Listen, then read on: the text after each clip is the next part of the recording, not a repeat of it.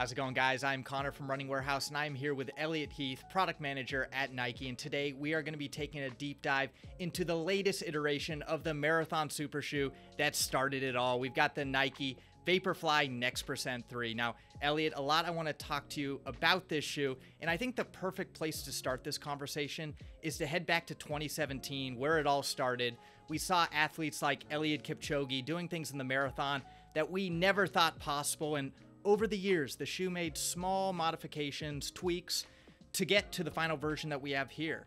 Can you tell us a little bit about the early days of the Vaporfly and uh, how it progressed into Vaporfly Next Percent 3? Yeah, thanks, Connor. Thanks for having me. Um, it's always a fun time to get on and talk talk Vaporfly and racing shoes with you. Uh, in terms of the Vaporfly, this is yeah, it's come a long way since its start. Um, I think you mentioned it as you know the ultimate racing shoe. We kind of think of it as the super super shoe where we're at now.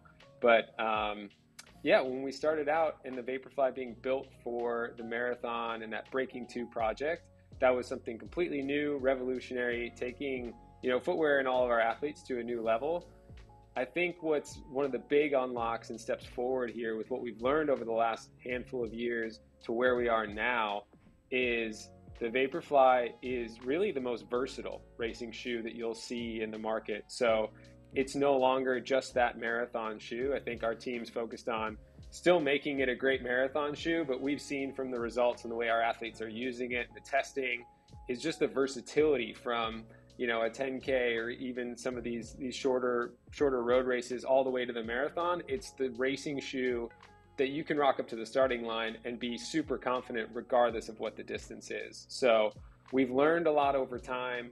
There's been little iterations and little improvements, uh, but there's still some components of what makes the Vaporfly the Vaporfly, but a lot of new exciting things to talk about with this new version as well. Yeah, when you see the starting lines of most races, again, from 5K to marathon, a lot of the times you are seeing Vaporfly, and that just goes to show how versatile the shoe is. And while this is a completely new shoe from top to bottom, it still maintains a lot of those core philosophies that the Vaporfly is known for. But when you take a look at this shoe, the, the one thing that stands out to me, and really the part of the shoe that everyone is going to be talking about with the Super Shoe, is going to be the foam. And of course, we've got Zoom X in this shoe from uh, heel to forefoot, a lot of it. Do we still have, though, the same Zoom X compound that you've seen in past versions? Is this still going to have the same underfoot experience and really that same cushioned, bouncy feel you've come to know and love. Yeah, as you mentioned, one of the things that makes Vaporfly Vaporfly is kind of the engine that it's built on, and making that up is the full-length ZoomX foam along with the the curved carbon fiber fly plate. And specifically to your question about the ZoomX foam, that is the same compound as what we've had before. We've just gotten a little bit smarter in every little process around how the foam's made, how we're manufacturing it, how we're making that into shoes. Um, so that it's the same material, but we're actually eking out just a little bit better performance out of out of the foam. Uh, but it's the same compound. It's what you can trust and what Vaporfly runners have felt before. And we just continue to get a little bit smarter with how we're building the shoes and, and utilizing all the components. All right, another part of the shoe that stood out to me when you look at it at first glance is going to be these cutouts and then when you go over to the medial side, there's almost these uh, carved out convex and concave shapes. Can you tell us about what went into the, de- the design process for this and how it's going to affect performance? Yeah, so you mentioned those cutouts, and that's really a reductive nature. Everything focused on, again, where can we carve away weight that's not needed? Everything that's built into the shoe is about the performance giving runners as much benefit as possible. Those two areas, one on the side of the shoe and, and underneath as well, where you look in and it cuts away to the to the plate. Those are both areas in which you can. Uh, we, we looked at trying to carve away material uh, really in a more reductive sense, still still keeping all of the things that keep the make the shoe special and give give it its performance, but cutting away material where where we could. Um, you mentioned on the the medial side of the shoe the convex geometry, uh, that's a really important part. So it's a it's kind of a bulge out, a very subtle change uh, from previous Vaporflies where there was a little bit of a concave geometry cutting in there. Um, that's one of the biggest unlocks of this shoe is a very subtle improvement to the stability feeling of it, uh, especially as you kind of roll in and get a little bit more control over the pronation that you're running with in the forefoot of the shoe. So that subtle change to convex geometry on the medial side really helps with a more stable feeling shoe. Yeah, you know, creating a stable shoe is extremely important, especially as you get higher and higher. That's really uh, important with the super shoes is creating that highly cushioned protective experience. But now with World Athletics limits at 40 millimeters, there are constraints. Can you tell us a little bit about some of the challenges of creating a shoe with these limits and how you maximize performance given these rules? Yeah, as you mentioned, it's definitely a different world in which we're playing now with with limits. Um, but in the past, there, there were no limits. When the first Vaporfly came out, you know, there were no limits to it. And so um, I think building on that, it's like, like we, at the time, there was opportunity to go higher. I think the way we look at it is that stack height is is not the only thing that is an input to the shoe. Um, so although they've set those those rules, it, it does put some limitations on how we can build our shoes for racing. But in the case of the Vaporfly, it's uh, it's, it's it's significantly below, or it's definitely below the, the 40 millimeter stack height limit, and it's in a zone where when we really start to talk about the versatility of the shoe, um, keeping it lightweight but still maximizing how much energy runners want and demand for all those different races. Uh, stack height isn't really the only thing that we're talking about. We're still trying to maximize all those other variables and really create the perfect shoe that's the blend of energy return, propulsion, protection, as well as that stack height. But the stack height is really kind of an outcome of hitting all those other metrics really well. Yeah, you know, the super foams are an extremely important part of super shoes. It's really what gets all the hype.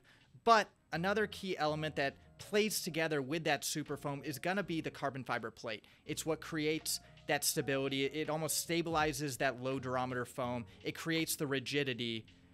But I'm sure you guys have learned quite a bit since that original Vaporfly. Do we have any modifications in this plate given what athletes have tested, uh, the feedback they've been given, or does that original plate really maintain uh, the core philosophies that the Vaporfly is known for? Yeah, so the Vaporfly Next Percent 3 is built on the exact same carbon fiber fly plate as the original Vaporfly. So that's going to be add some of that consistent feeling. It's really what gives the shoe its propulsive feel. Uh, we've got some great cushion shoes with just Zoom X and not a plate, um, and that that delivers great cushioning, uh, a lot of energy return, but it doesn't quite give the same propulsive feel. So the propulsive feel is really what is unlocked by that carbon fiber fly plate even though, like as you mentioned, though, it's it's working in combination with the midsole foam. And so even though the plate is exactly the same, it's how it's built around with those other components of the outsole and then the midsole, the Zoom X around it to ultimately deliver what the final experience is of the shoe. So really the combination in the Vaporfly Next Percent 3 gives you very similar propulsive feel, but the redesign and especially some of the the slight changes to how the foam is built around the plate unlocks a little bit more energy return and a slightly different feel to the shoe. Yeah.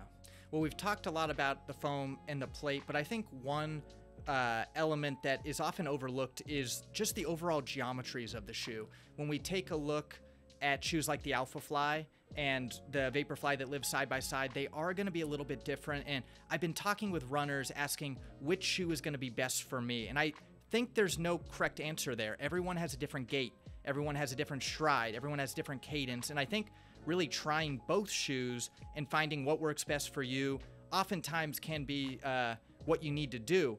But now looking at the Vaporfly, can you tell us a little bit about the geometries that we've seen used here? Is it very similar to past versions? And even telling us a little bit about this heel that does look aesthetically different than the past version.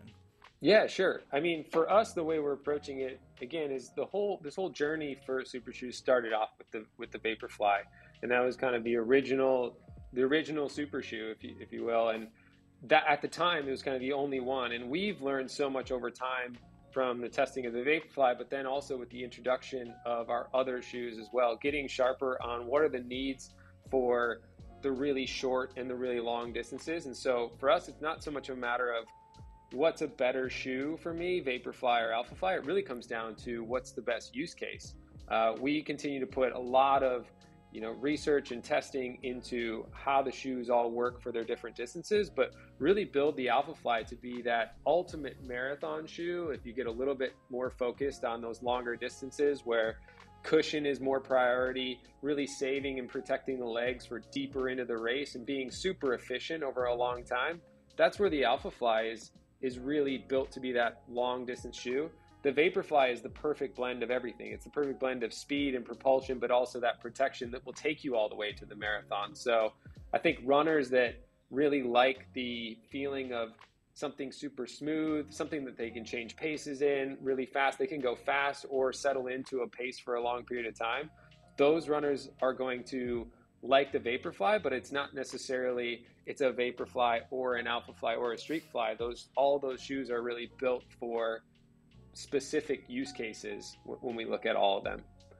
Uh, when you talk about the geometry of the shoe, like I said, everything was about, we looked at some areas, we're trying to be as reductive as possible and, and, save some weight and also come up with kind of the new, the new design and the look and feel of, of, of fast. And when you look at this, this shoe, everything about it is built to really tell the eye, tell the mind that I'm about, I'm ready to go fast. And from, you know, even just like the colorway, the swoosh, um, and every component to the design of the shoe is is built to really turn the turn the mind on and get you ready to go fast. All right, Elliot, you've dug into pretty much every part of this midsole, and there's only one more part I want to talk about, and this is going to be exclusive to the proto colorway I have here. This is going to be extremely limited edition, so not everyone is going to be able to get their hands on the proto colorway, but if you are one of the lucky few that does, you'll notice this uh, number sequence on the medial heel. Now, we talked on the Streak Fly about the number, and I believe it was a tester that put a lot of work, had great feedback, and really helped the Streak Fly become what it was. And if I remember correctly, that's uh, that tester's number was 17539 9. Now, when we look here, this is not the same number here on the Vaporfly. Can you tell us about this number? Well, I hate I hate to reduce our testers to a number uh, because there's so much more, but I think what it is is really just a nod to in the proto colorway. It's it's a recognition of you know these are us trying to get our, our the first pairs of, of shoes out that we can um, in a world in which you know the rules require shoes to get out to the um, get out and be sold before the shoes are legal and in our in our best attempt to really stick with the spirit of the rules and, and make sure that we're leading the way there we always try to get the shoes out as quickly as we can. And in the proto colorway, these are the, sh- the first pairs that we can we can get to market. And specifically, when when you call out the number there on the midsole, that's really a nod to our testers, the athletes, uh, professional, um, you know, local, national level, as well as uh, really all levels that we tested with this shoe.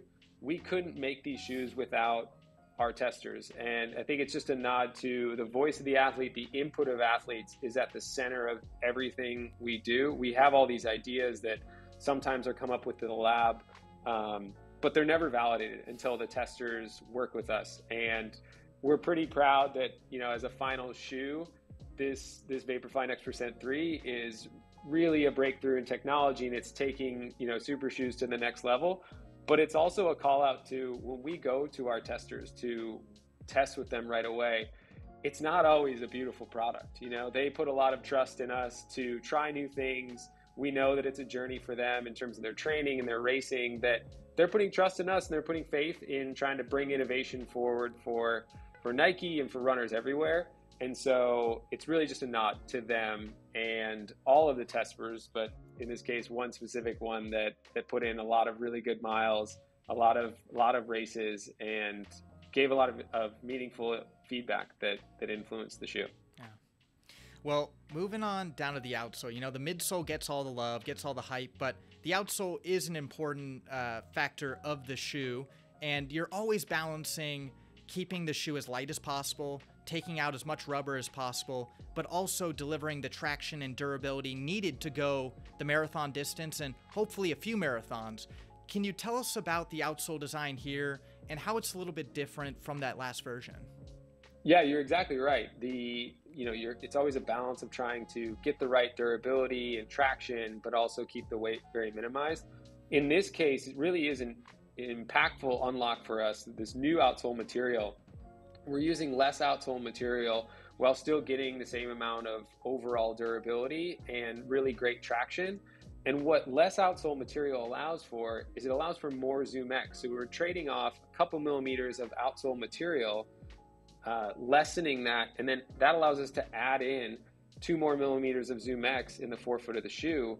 Uh, so the same overall stack height, but two more millimeters of ZoomX, which ultimately leads to this Vaporfly being the, the, the Vaporfly that delivers the most energy return of any Vaporfly that we've ever made. So the outsole, the outsole unlocks a lot of other things for the shoe, specifically in terms of the midsole design another comment on outsole, and I feel like this is something that I've been hearing a lot more recently, especially with shoes trying to become even more inherently stable, is wider net bases. And when we take a look at shoes like the Alpha Fly, they will have a little bit more uh, wider net base than maybe what you see here in the Vaporfly.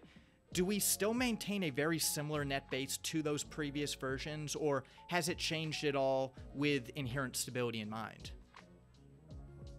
Yeah, so the the net base of the Vaporfly Next Percent 3 is the same width as the, the Vaporfly Next Percent 2 and 1. Uh, one slight change is that actually it's shifted just a couple millimeters from the lateral side to the medial side. Uh, that, along with that convex geometry on the medial side, is one of the key unlocks to giving a more stable feel to the shoe. Again, as you get later into races and the form breaks down, that's a really key component and that's part of not only a performance thing, but it's it's part of one of those things that helps you know keep runners feeling feeling really stable and feeling healthier uh, in in not only in the race but in their training. All right. Well, finishing this shoe off, wrapping it all together, we've got the new upper. And if we take a step back to that OG Vaporfly, I remember we had a very simple engineered mesh design. Then it transitioned to the Flyknit. Then it transitioned back to an engineered mesh, and we had a couple versions of that. Now, looking at the Vaporfly Next Percent 3, we're back to Flyknit, and taking a closer look, it almost has a different uh, look and feel than what I've ever seen with Flyknit. Can you tell us why you decided to make the transition back to Flyknit and how it's going to enhance performance uh, and deliver a better experience than that engineered mesh design? Yeah, I think what you described there is a great example of for us, it's all about deliver. How can we deliver the best benefit and the best performance to our athletes? It's not about picking a material and then making that work. It's about figuring out what what materials, what sort of new innovation do we have at our disposal.